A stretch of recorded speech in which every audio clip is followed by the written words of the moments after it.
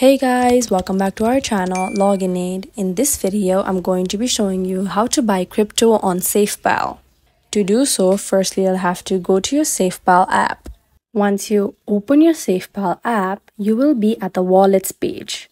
Now, to buy crypto, you will have to go to markets. You can see at the bottom of your screen, there are a few options given to you. Now, to buy crypto, you'll have to go to markets.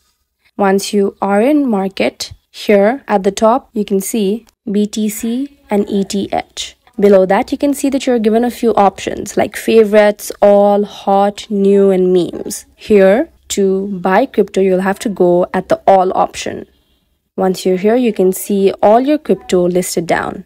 You can choose one according to your preference and tap on that. Here, at the bottom, you can see the swap and trade option. To buy crypto, you'll have to tap on trade. Once you tap on trade, here you can see all the USDT that you can pay and the amount of crypto you'll be getting. Now, you can see that you're in the sell option. You'll have to go to buy. So you may tap on buy, which is right beside the sell option highlighted in red.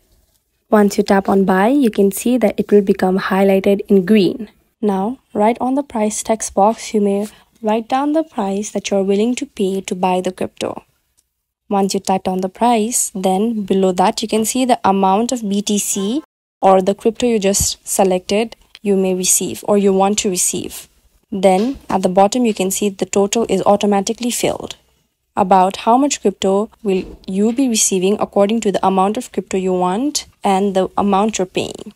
Once you make sure that you filled all the details correctly, like the amount you're going to be paying, the amount of crypto you want to receive, and the total. Once you make sure all those details are right, then you may tap on buy BTC to buy your crypto.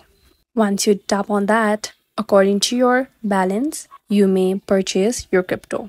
This is how you can simply buy crypto on SafePal. If you find this video helpful, kindly like, share and subscribe and do not forget to leave a comment down below. Thanks for watching.